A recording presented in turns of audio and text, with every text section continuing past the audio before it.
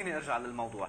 آه، قلت لك أنا إنه تيار المستقبل وصف عودتك بالصفقة المشبوهة بس رئيس حزب الكتائب كريم بقردوني يلي زارك بباريس قبل عودتك آه، وبحديث تلفزيوني له من فترة حكي عن آه، يعني وصف الأمر بتسوية.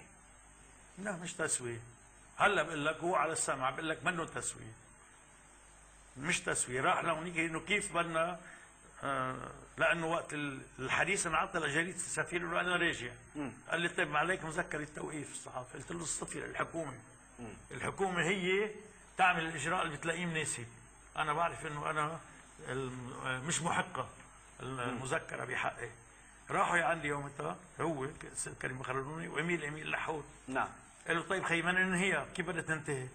ما فينا ننهيها اذا ما عينت محامي انت رافض تعين محامي ورافض تعطي افاده ورافض ورافض ورافض قلنا okay عينا محامي يتابع القضية هذا كل شيء صار الجنرال هيدا يعني هيدا دليل إنه ابن رئيس الجمهورية اللبنانية واللي كان نايب بهذاك إيه. الوقت والاستاذ كريم بقردوني اللي كان معروف أيضا موقعه إيه. ومدى قربه آه، من الرئيس. لحود السابق إيه. اثنيناتهم راحوا لعندك تقول لك شو شو بدنا نعمل حتى نسهل لك رجعتك ما هيك؟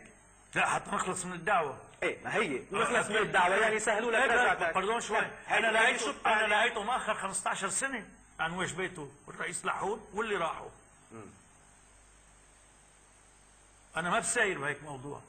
مثلا من يومين ثلاثة صديقك وحليفك سليمان فرنجية كان آه، بسوريا عند الرئيس الأسد كان عم يتعشى مع الرئيس الأسد. هل أطلعك على شيء معين؟ هل اتصل فيك خبرك عن أجواء معينة؟ لا. وأنت ما سأل؟ لا ما بس ما كان عندك. أنا ما بسأل الأشخاص. إذا هن بدهم يحطوني بالجو اللي اللي بيعرفوا أنا ما بسأل عادة.